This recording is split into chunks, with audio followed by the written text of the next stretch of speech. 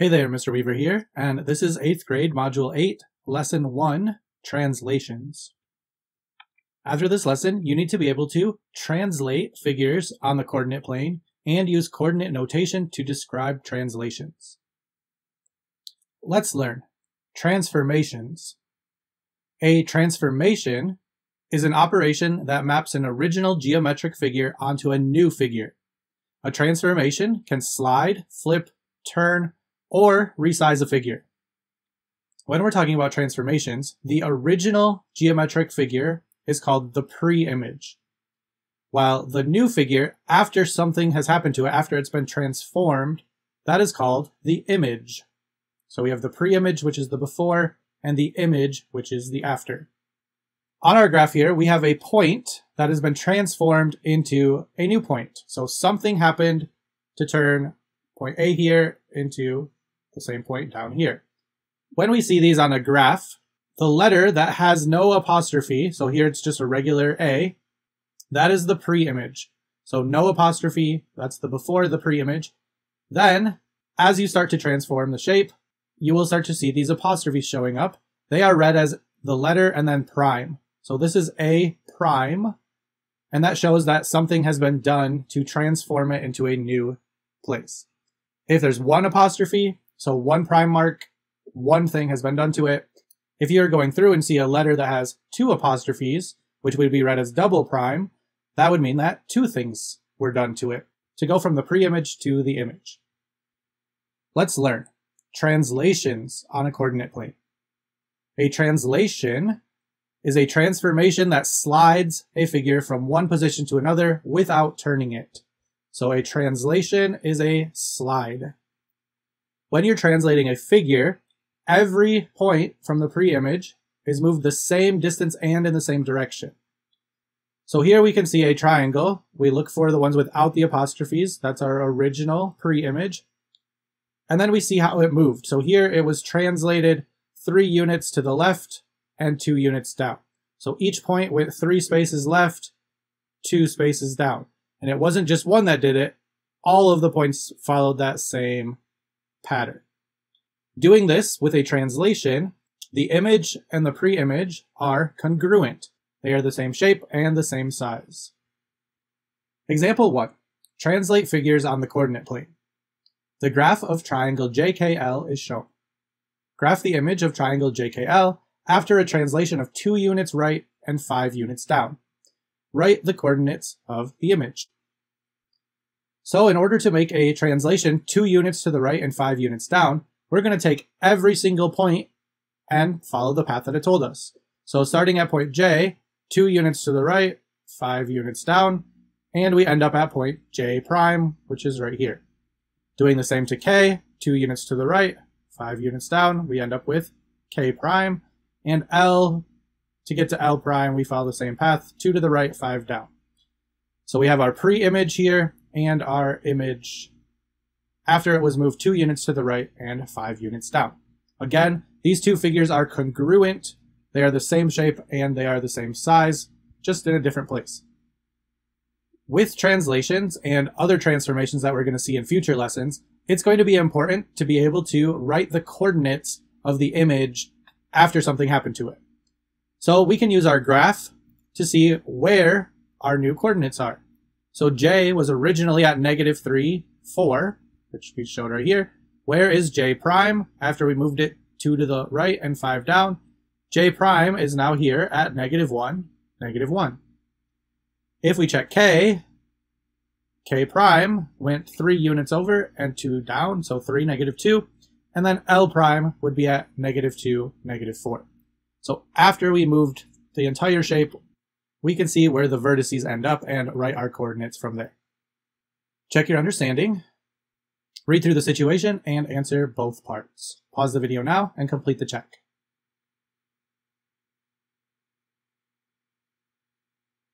Check your answer. First, if we're plotting our original pre-image points, we have D, E, and F. We want to do a translation, five units left and three units down. So I'm going to take each point one, two, three, four, five. So five units left. Three units down would be there. 5 left, 3 down for point E would be there. So there would be my E prime. And 5 left, 3 down would be right there. So after we've plotted it, what are the coordinates of our image?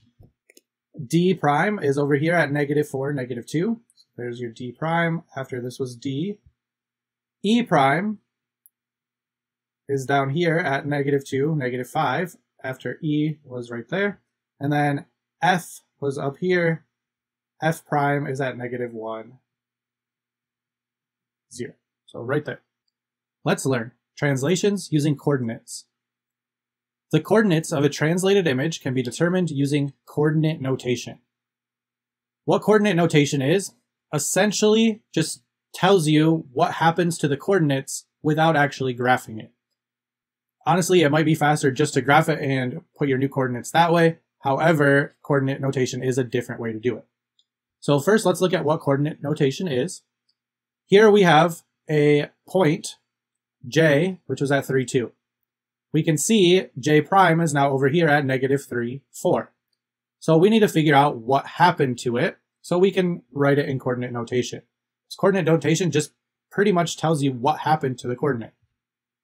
When we're translating it left or right, so in this case we went left, a value a is added to the x coordinate. So in coordinate notation, we add a value a to the x coordinate. x goes left and right, so this tells us what we're doing left and right. b tells you going up and down, and we add that to the y coordinate. So whatever the number it went left or right, we put it with x. Whatever the number we went up and down, we put with y. This is coordinate notation for a translation. So in this picture, since our coordinate j moved six units to the left, we can count our spaces, it went six units to the left, and two units up, we could write our coordinate notation. When we're doing this, we don't always really need that plus. That's just the generic formula, kind of like y equals mx plus b, even though sometimes our y-intercept went down. If we're going to the left or down, we're going to use a subtraction instead of a plus. If we're going up or to the right, then we would put a plus. So these are just the normal directions of coordinates, plus going up and right, negative going down and left. So in this case, j went 6 to the left, so we went 6 left and 2 up. Minus for left, plus for up. Putting this all together, we can see that horizontal translations are what's moving it left and right. So we would put that value with the x coordinate. Vertical translations moving it up and down. So we would put that value with the y coordinate. Here's what we just saw on the previous slide. And if we're looking at the shapes here, again, no apostrophes or no prime symbols. I mean, that's the original. So it went like this each time. What happened to it?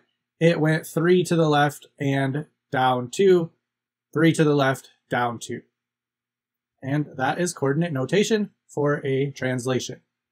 In the next couple of lessons, we will see how the coordinate notation works for the different types of transformations. They're all slightly different, but they do all involve what happens with the coordinate of the shape to get from the original pre-image to the image. Example 2. Translate using coordinates.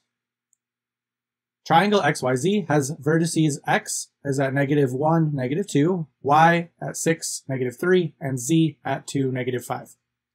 Write the coordinate notation for a translation of two units left and one unit up. Then write the coordinates of triangle x prime, y prime, z prime. So first, let's write our coordinate notation we have a translation, two units left, one unit up. Left tells me that I'm going to have a subtraction sign. Up tells me I'm going to have an add sign. So to translate two left, I'm going to subtract two from each x coordinate. We would write that as x minus two. And then to move it up, we're going to add one to each y coordinate. So I would take the y and add one. Putting this in coordinate notation, it would look like this whole thing our original coordinate right here, going to our image coordinate, we would subtract 2 from the x and add 1 to the y. Next, let's write the coordinates of triangle x prime, y prime, z prime. So we found our coordinate notation, which is right here. We're going to subtract 2 from each x coordinate. or move it to the left 2. And we're going to add 1 to each y coordinate, which will move it up 1. So if we take our x coordinate, and we're going to subtract 2 from it, negative 1 minus 2 would give us negative 3. And then if we add 1 to our y coordinate, we end up with negative 1. So I'm following the rule set in my coordinate notation based on what it said. My new vertex for x, x prime would be at negative 3, negative 1. Doing the same for my y vertex, subtracting 2 from the x coordinate, I would get 4. Adding 1 to the y coordinate, I would get negative 2.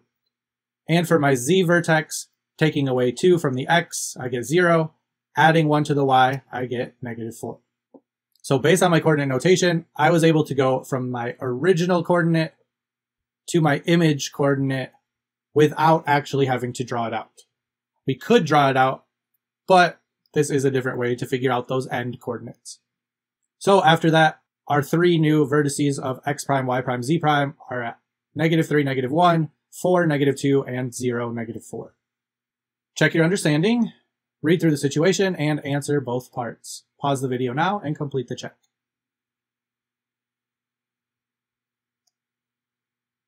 Check your answer. First, our coordinate notation, we are moving six units left, so that's subtracting from the x, and nine units down, subtracting from the y. So subtract six from x, subtract nine from y. If we're writing our coordinates, a prime would be at negative 3, negative 7. If I subtract 6 and subtract 9, 3 minus 6 is negative 3. 2 minus 9 is negative 7. For b, subtract 6, subtract 9. 1 minus 6, negative 5. Negative 3, take away 9 more, would put us at negative 12. It's even farther negative. And negative 5, take away 6 is negative 11. 0, take away 9 is negative 9. We could double check by graphing and making sure that everything did in fact go 6 units to the left and 9 units down, and we would see that that is the case. Example 3. Use coordinate notation to describe translations. Use coordinate notation to describe the translation. So here we have our picture. We can see that our pre-image is the one that has no prime symbols. So this is our pre-image. This one is our image, our after, because it has the prime symbol. Let's look for the corresponding points. So A, moving to A, we need to figure out what happened so we can use our coordinate notation. Point A was at negative 7, 6. Point A prime was at 2, negative 1. So let's figure out what happened to get it there. How did I go from negative 7 to 2 and 6 to negative 1? Starting out my coordinate notation, I could do something like this. Plugging in where I started, I have to add a mystery value to each. Since we know we started at negative 7 and ended at 2, what do we have to add to go from negative 7 to 2? We must have added 9. Same for B. How did we go from 6 to negative 1? We must have subtracted 7. So A, I'm adding 9, B, subtracting 7. Putting this into coordinate notation, we would say that we take our x value and add 9 and our y value and subtract 7. And we can go back to our picture and verify this. We said our x value, it was going this direction. Did I add 9? I went 1, 3, 5, 7, 9. Yes, I did. Did I subtract 7? Down two, four, six, and another 1, so down 7. So I can verify it in the graph that it was in fact x plus 9 and y minus 7. Check your understanding. Use coordinate notation to describe this translation. Pause the video now and complete the check.